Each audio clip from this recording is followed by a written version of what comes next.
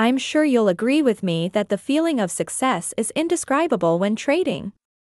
The more you gain, the more excited and motivated you become, ready to prepare for the next successful move. What happens though when this emotion cannot be controlled? Right now, you're probably thinking, why not be thrilled? I earned it. Well, you're absolutely right. It's only normal to want to celebrate your successes. The real question is, though, in what way can you both experience these positive emotions, but without being consumed by it? Well, this next story is the perfect example.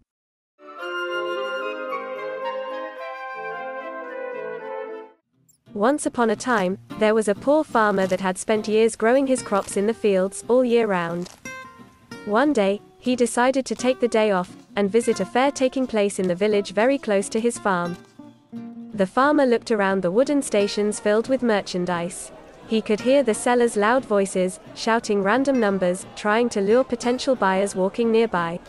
At some point, a particular cage with a beautiful goose caught his eye. After observing the shiny feathered bird, he decided to buy it and headed back to his farm. The next morning, as he woke, he went off to check on his new pal. He couldn't believe his eyes. The new goose had made a full size golden egg. Oh, my word, what is this? He thought to himself as he observed the shiny looking egg. The farmer immediately ran off to the fair to sell the golden egg. He could still not believe how much money he earned from just one golden egg. The next morning, Feeling refreshed and relieved since he was well set with the money earned, he visited the goose once more. The farmer gasped at the scene. Another golden egg awaited him in the goose's nest. He started screaming and laughing uncontrollably from happiness. He then immediately rushed to the village once more, selling the egg for double the price as the previous day. This was his routine for the next couple of days. The farmer would wake up early, head straight to the goose, and carefully place the egg in his bag, before heading off to the market.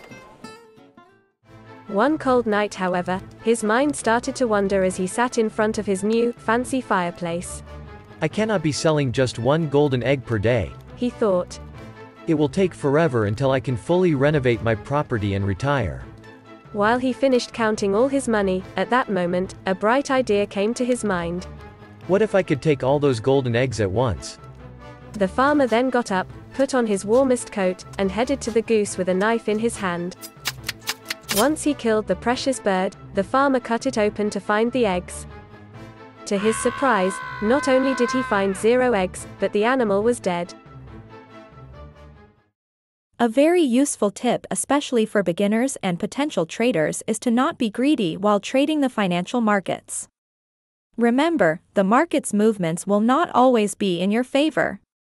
Your goal, however, should be to a make the best out of a bad situation rather than being greedy and allowing yourself to make unreasonable decisions based on your emotions.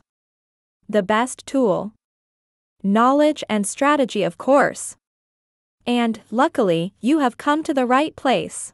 Hey, guys. Don't forget to subscribe and press the bell to keep up with new videos.